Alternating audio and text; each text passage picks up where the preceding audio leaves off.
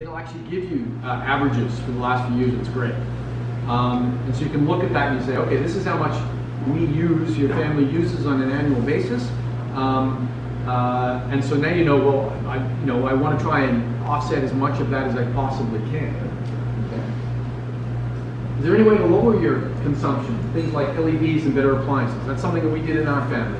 We went through, put LEDs everywhere. We upgraded our appliances. We spent a little bit of money doing that because um, it just it just made sense. We didn't have to produce as much power because we weren't using as much.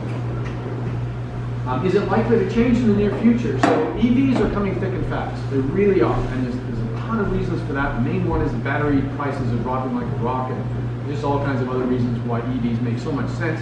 So they're coming. Um, if you're thinking, well, actually, yeah, an EV is for me, you might want to you might want to anticipate building a bigger system than you need right now.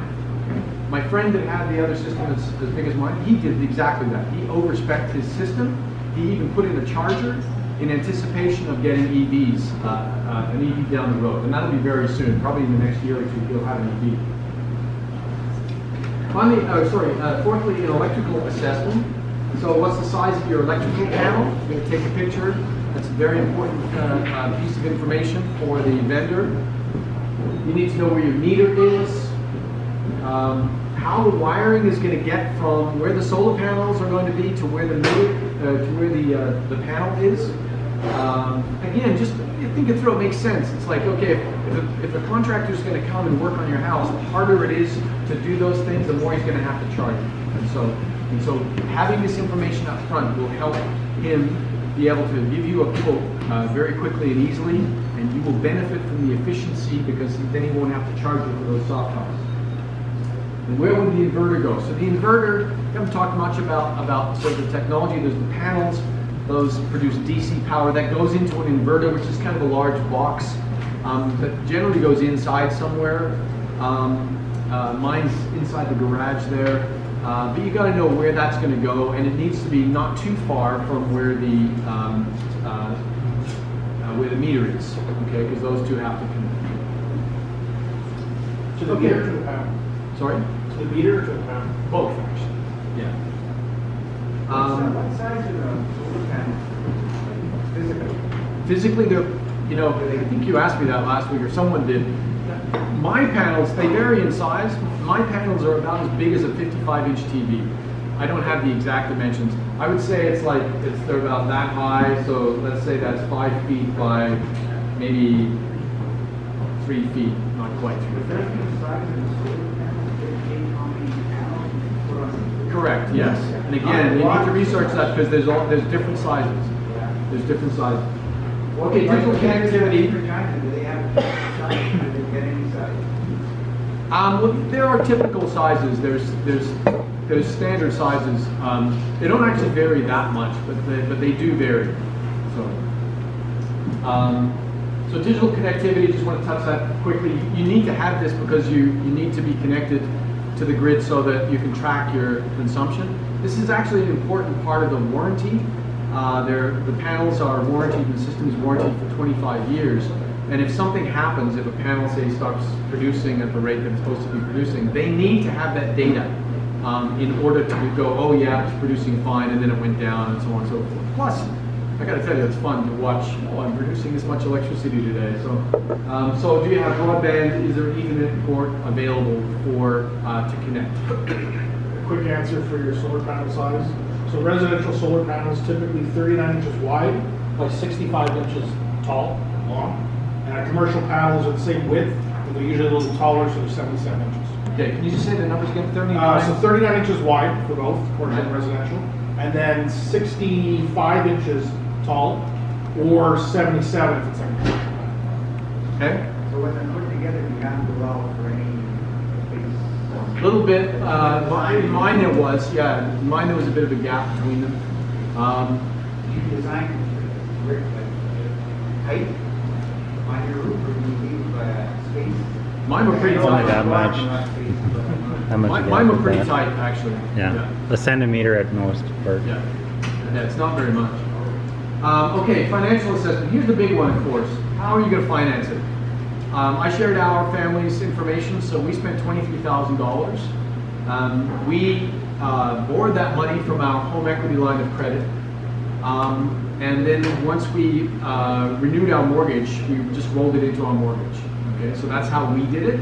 Um, so, um, you know, is your mortgage coming up for renewal? It's something to kind of think about.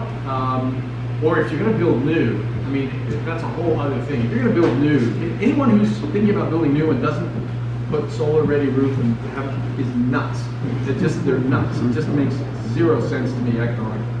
Um, can you borrow from your HELOC, home equity line of credit? That's what, that's what my wife and I did. Um, is government financing available for this? The answer is it's not, but it should be. So talk to your MP, talk to your MLA, start applying some pressure because it just makes no sense to me that, that there isn't far more enthusiastic response to this. Um, is bank financing available? Kind of, you know, uh, it's, it's, it's certainly not a customized solution, at least that I've seen in Saskatchewan for this. Again, talk to your bank, the more people that, that start asking their, their bankers about this, uh, hopefully the more pressure. Um, or credit union people. Should our Uh, co-op do financing? Is that? Should our co-op do financing? Uh, It's a question I, I can't answer. It's a question that needs to be considered, absolutely. Um, uh, So, yeah, I mean, I- I don't have an issue with financing if, again, if the numbers make sense. And as I tried to prove earlier, for me, the fact that I'm financing uh, this investment doesn't matter because I'm saving 13 bucks a month. So I'm cash flow positive on that. So I was like, okay, well, whatever, it doesn't matter. Um, uh, I am exposed, you could argue I'm exposed a little bit uh, to rate increases over time when my mortgage comes up for renewal, as I am with my entire house, but, you know, I'm sort of made peace with that. Anyway, so, so that's it. Those are the, those are the six assessments um, that you need to spend time um, basically uh, researching, filling out your file, getting that information together, and educating yourself in order for us to get to the point where we can bundle a, a, a group together and go to vendors and say, we've got 25, 30 people, they're all pre-educated, they know what they want, they've got the financing in place, bid on this. And uh, if we can do that, we'll get, we'll get a good, um, uh, we'll get a good price, you know, and, and reduce your cost. So, just a quick reminder, research, research, research, start a file. And that's all I got. Thank you.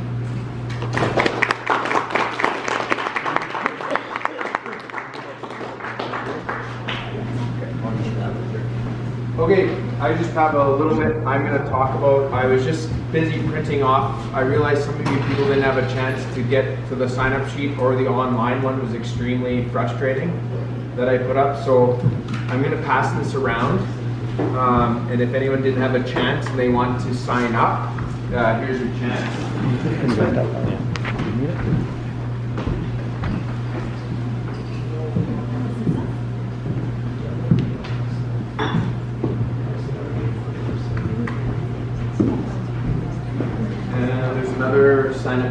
Here as well.